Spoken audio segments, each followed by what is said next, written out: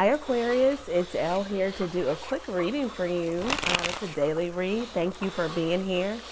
Thank you for liking, sharing, commenting, and subscribing to the channel. It means a lot. Please continue to do so. All links are below if you need to get in contact with me. Let's get into it. All right, so let's see what the universe wants to tell the Aquarius collective. All right, thank you, God, for blessing the Aquarius collective with a clear, concise message from you. All right, so let's see. What is the initial message for the Aquarius? Let's see. Um, all right, the Knight of Pentacles, you've got an offer coming, a solid one, a stable one. Also, some of you have been doing some really solid, stable work. Been hard working, dedicated, devoted to whatever it is you are uh, going after, whatever it is you are doing. This is uh, travel for work also. This could be the need to inject some fun, okay, into your life, Aquarius, right now. It can't just be all work and no play. Um, if, this also could indicate maybe you your relationship, your romantic relationship, if you have any, going into a more committed state of being or this could even indicate someone having their eye on you, not making a move yet, but they have an offer that they want to offer you. They have something that they want to offer you, and it could be very committed, very stable, long lasting. Again, this person may not be as romantic as you picture or you envision or you fantasize about, but what, what they are is devoted, caring, understand it. All right, reliable. This is also you, Aquarius, doing a really good job. Dotting all of the I's, crossing all the T's. You being a bulldog about maybe your work and your work ethic. This just fell out onto the floor. The King of Pentacles. Very nice. So this could be you, Aquarius, or this is someone that you're dealing with. The Four of Swords and then the King of Wands. Take a rest, Aquarius, because you have been systematically approaching something in your life here this could be in terms of work. You may have even gotten good advice or gone to an expert about money and money matters in terms of how to grow it, grow your money, where to put it, what to do with it. Um, you may be, have been taking a very systematic approach to something. Also being very practical too. You know, what makes sense in terms of money and money matters. How to save, where to save, what to save. Does it make sense to spend? Um, this is also, once again, getting good advice. There's not a lot of romance happening in the specific Aquarius that I'm reading for. There's not a lot of romance happening in your life and your love relationships, but there is a lot of stability, okay? There's a lot of um, devotion to longevity. So maybe even some of you trying to make money in your sleep. What can you do uh, that offers you um, long-term goal fulfillment, a good reputation, um, money, wealth. Some of you are thinking about that also. You know, what can I do with the Four of Swords here in order to bring in more money or at least have wealth? Some of you are thinking about retirement and what does that look like for you? There could be some unexpected money that comes into you, especially for those of you who are entrepreneurs, you have your own business. This also could be promotion. Some of you are really just tied to your home. You go to work, you go home with the King of Wands there. You've got some psychic, uh, you know, inclination, intuitive nudges that come to you and it and it speaks to you and it speaks volumes in terms of what it whatever it is you, you're after and whatever it is you're trying to do.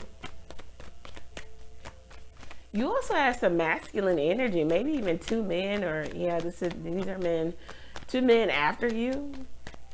Or if you are a man it could be same sex and if you are not involved in the same sex connection then you and someone else are you know coming at each other in that very masculine energy there's no balance in terms of feminine energy.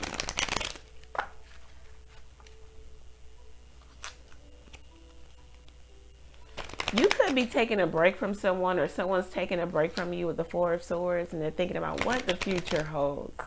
they desire to be with you. They desire to have something with you, and maybe even vice versa. You feel the same way.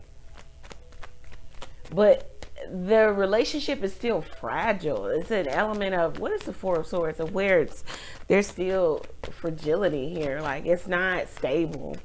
I don't know if something happened, if there was a third party. What is this? The Six of Pentacles. Something about balance, harmony, and a power dynamic. Somebody feels like you won't let them lead, or vice versa. You feel like someone won't let you lead. There has to be a leader and there has to be a follower it's just not going to work with two leaders. I mean, when, when and where have you seen that work? There's a president, there's a vice president, and you know, it's just order in life. We, we can't get around it. We can't go under it. We can't go above it. It is what it is. Fight with the order, not with me. But it looks like somebody, the power dynamic here is off. And we see that with the two kings coming up. It's just like there's a head butting situation where somebody just won't give. So someone is wondering if someone is going to allow them to show up, you know, in that masculine capacity, in that masculine energy, or are they going to um, continue the power struggle? The dynamic is off. Also, somebody's treading lightly in terms of how they deal with you, or vice versa. This is you they know at any given time you can pull that power card maybe as i don't need you i don't really you know i don't need this whatever. This could be somebody who feels like they're on the outs with you and you're focused more so on you. There are some of you who are coming from a place of lack lack of confidence, lack of ingenuity, lack of movement, lack of maybe instituting something, bringing something into fruition. But now you're focused on some short term goals. And it looks like you're going to achieve them. You've got the Five of Pentacles, the Chariot, and the Emperor. You're going to get some high level of prestige in your or, or you'll come into some level of expertise in your field. This could even be some of you going in from being uh, employee to an employer or at least an entrepreneur. It, it's in your mindset, it's in your dream space, and it's like some of you are really focused on you, uh, self focused with the, the chariot. Or there has been someone maybe you left them out in the cold and they started focus on the, focusing on themselves. Or this is what someone did in in regards to you you know um they left you out in the cold. Now you start focusing on you and now you're gonna have victory. The fool card. Yeah maybe a new something new is developing. What is this fool card here? What's the fool card Five of Cups and the Magician.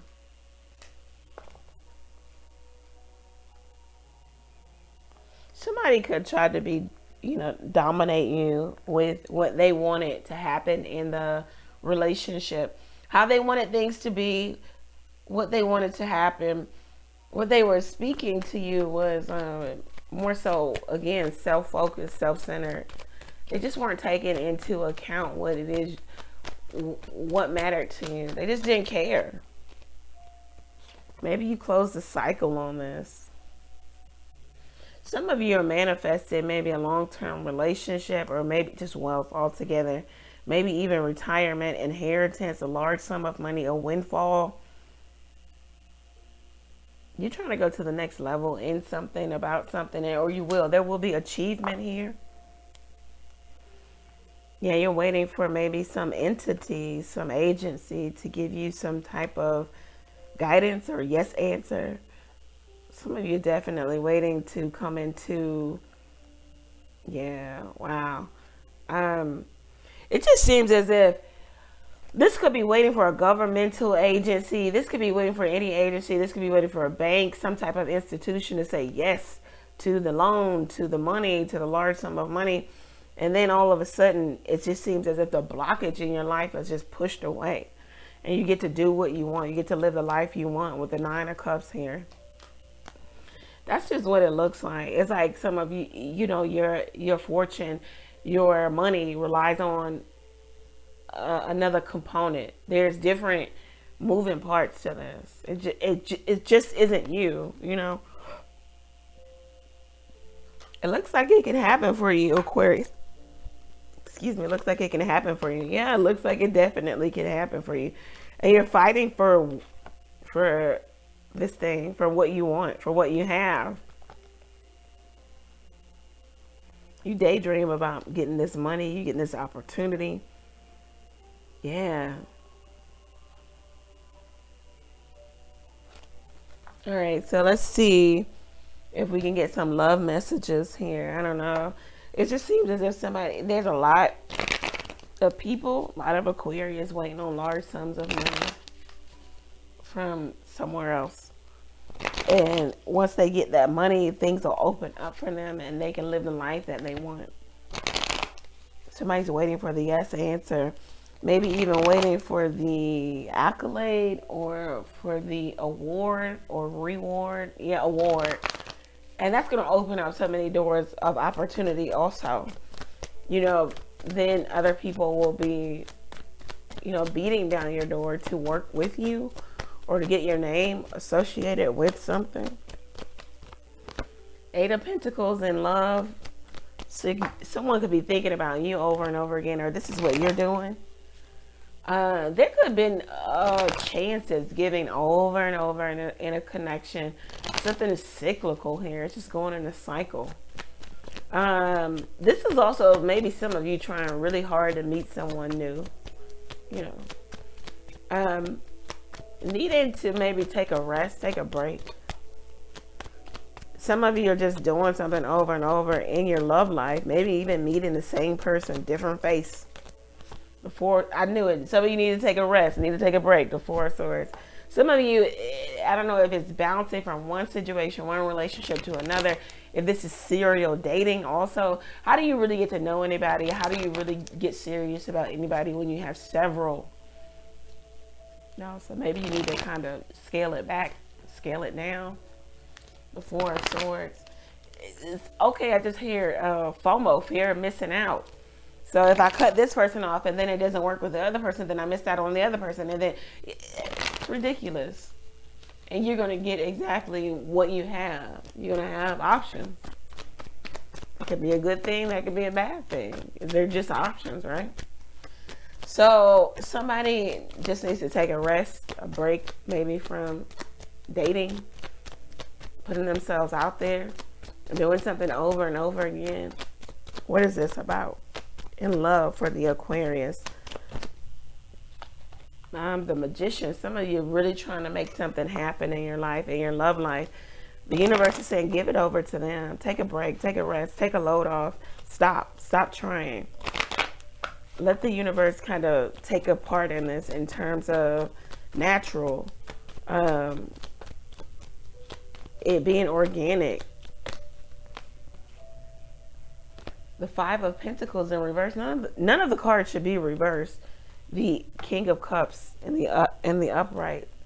Somebody wants to come out of being in a place of no movement with you.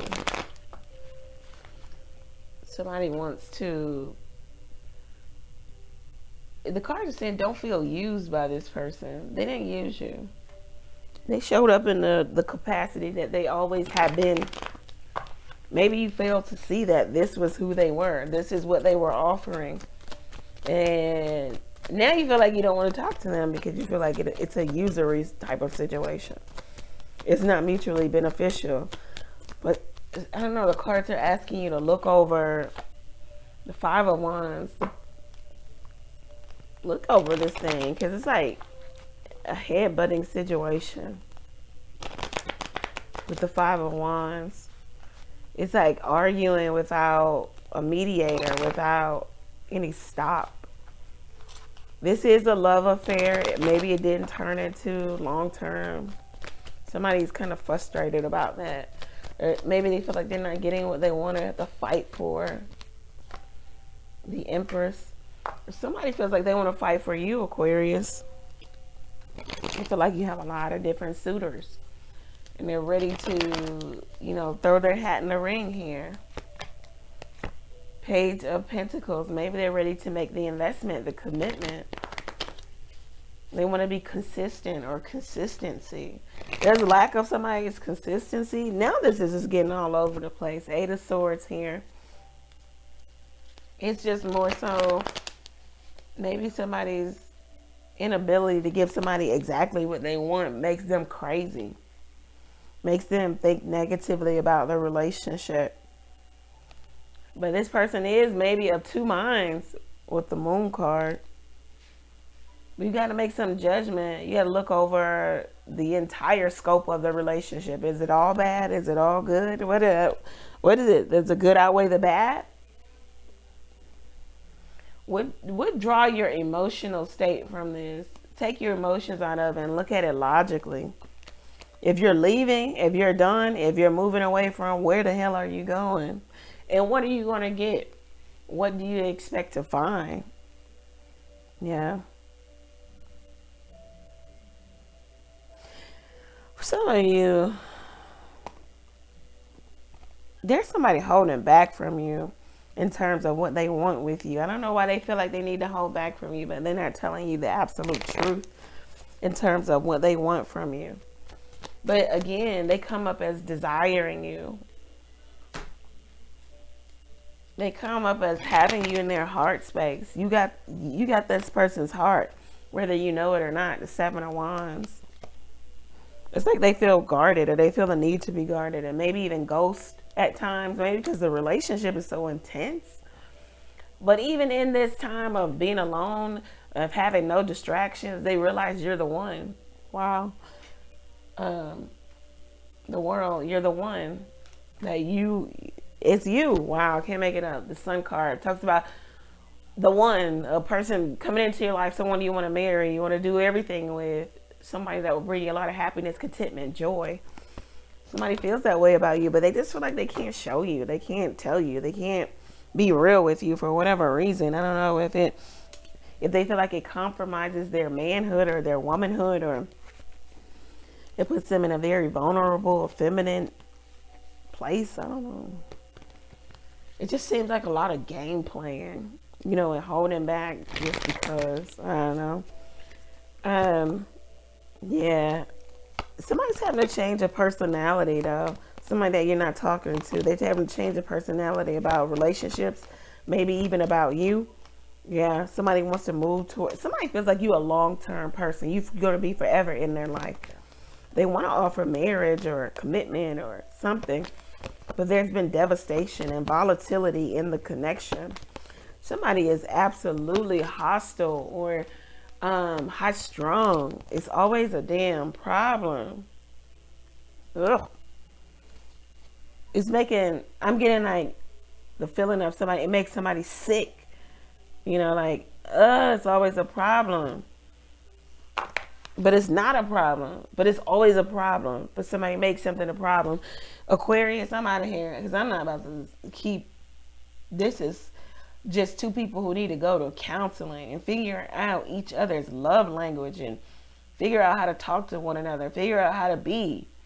Because it's clearly love between the two of you, and you, you feel like they're the one, they're the one, you're the one. I don't know. It's just, it's childishness amongst adults anyhow, Aquarius, um, you got somebody who wants you in some capacity, but they feel like they need to hold back for whatever reason.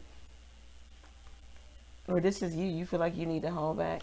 This is what I have for you. Go over to the website, book there. If you have a question or two, you can text your question to the number below. You can also book your own personal reading at the website level.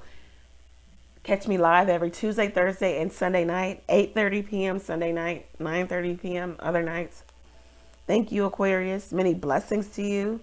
All links are below if you need to get in contact with me.